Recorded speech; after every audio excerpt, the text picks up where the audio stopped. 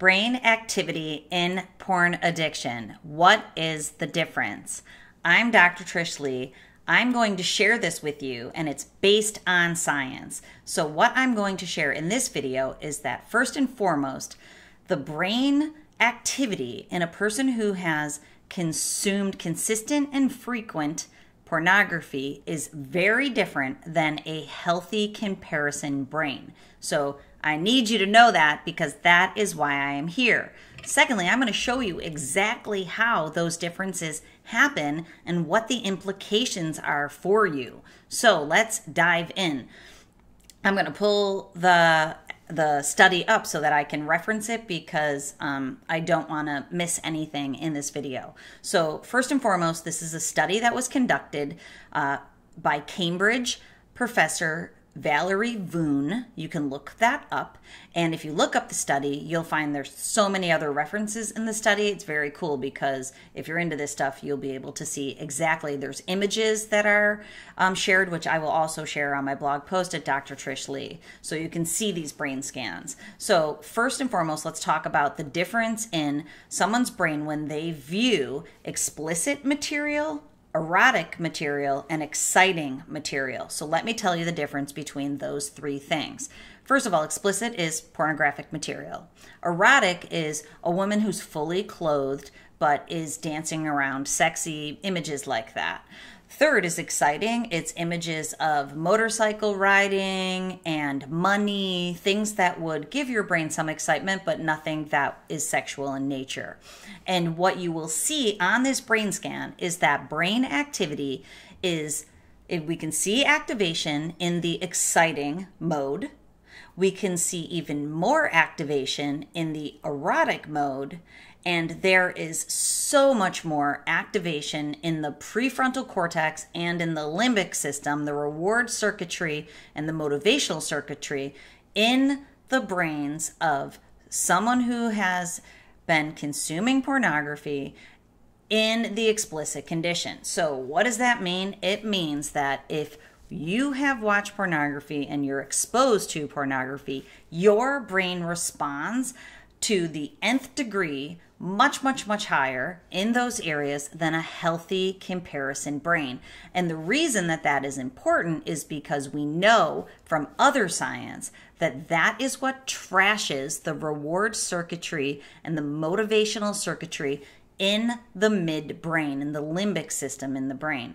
You're you're messing with that reward circuitry and what the science shows is that because you go back for frequent and consistent you know, dumps of dopamine as I'm always talking about it, or this hyperactivation of those areas, what happens is that the reward circuitry burns out and it desensitizes. So, what that means is that you need more frequency, more consistency, and higher intensity over time to be able to get the same level of those neurochemical releases and the activation in those reward systems. What also is shown by this study is that it is creating underactivity in the prefrontal cortex, which is the control system in your brain. So the control or the braking in your brain isn't working because it is being trashed also. There's another implication for this study, which I will talk about in another video, is that if you're young, the younger you are, and this was a secondary finding, the younger you are, the development of the area in the prefrontal cortex was delayed. So if you were exposed to pornography when you were young, which is the case for so many people, the prefrontal cortex in your brain is delayed in development. And what that means is that you may not have healthy levels of executive function skills, planning and organization, kind of the captain of your ship, as we call it, up here in the frontal lobe, uh, decision making, socialization, being able to pump the brakes on anxiety. That all resides up here, and that area hasn't grown up the way that it should have. Okay, so another finding, and I'm just peeking at the images so I can make sure I don't forget them, is that those areas in the brain, in the limbic system, which basically process memories, decision making, emotional responses, especially fear and anxiety and aggression, those are being constantly activated if you keep going back to the screen. And so, what that means is, again, their ability to function over time decreases because they are being burnt out. And in this study, it's a chart, which is pretty easy to see, that it shows that compared to the exciting money, motorcycles, boats, compared to the exciting condition, the explicit condition has much higher levels of activation in these areas. So, again, just, you know, not treating that area of your brain in a healthy way. Uh, okay, so the last thing that I wanted to share with you, and this is such a crazy finding of this study also, is that what this finding shows is that desire in those areas of brain of your brain that control desire exponentially are higher it, when you have a brain that goes back for more pornography and guess what's lower actually liking it so desire is high, liking it is much lower. And this is so interesting. And it's looking at the comparison between someone who has consumed a lot of pornography versus healthy, active brains, healthy activation. So compared to healthy brains.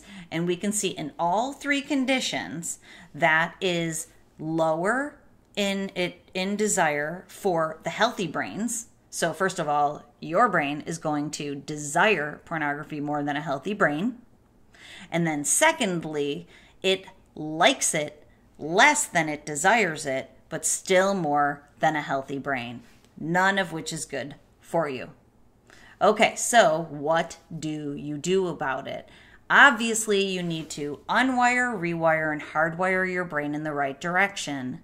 So, understanding this will hopefully help you. Uh, knowledge is power, and that's part of the rewiring and hardwiring process, and motivation and inspiration to unwire. So, unwiring, you need to abstain. That's all that's to it. You have to stay away from the screen, and you know how I feel. You need to fill that gap in your life with something that is important to you. You need to get on purpose in your work, in your relationships, and in your hobby hobbies so that you have something to fill that gap in your life. You have to stay away and let your brain start unwiring itself. And it will do it. Neuroplasticity proves it and there's scientific studies that proves that it will unwire by itself if you stay away. But if you rewire your brain by let's just say not using the reward center all the time and trashing it so that is going to rewire it in the right direction. And this is a step you can actually take is you can exercise more control and start growing up that prefrontal cortex that needs to develop, especially if you started watching porn when you were young. You need to allow that area of your brain to come online and develop. The younger you are, the more you have development on your side. But even for older people, it still can happen via neuroplasticity. So then you got to hardwire in this new, better pattern using your behaviors, your attitudes, your thought processes. You need to be able to tap into your emotions. You need to be able to release any traumas from the past or any pain so that you can feel good being in the world and not needing to escape into porn. Okay, I hope this helps you understand the differences between a healthy brain and a brain that has been going back to porn consistently and frequently. Uh, just to sum it up, the main difference is that the reward system is being overworked, so it needs, it starts being uh, fried, for lack of a better word. And so then it, you become desensitized and you need to go back for even more so that your brain gets the same levels. At the same time, your prefrontal cortex is not doing the braking and it's learning not to brake your impulses and not to uh, you know pivot when you need to. It impacts your decision making and the younger you are the worse this is for you. But you're going to use neuroplasticity to get your brain moving in the right direction. And if you want help doing that please go over to my website at drtrishleigh.com there's courses there of different sizes. And of course if you want to train your brain with me personally i'm down for it because that is the best way to rewire your brain as quickly as possible. Okay remember control your brain or it will control you.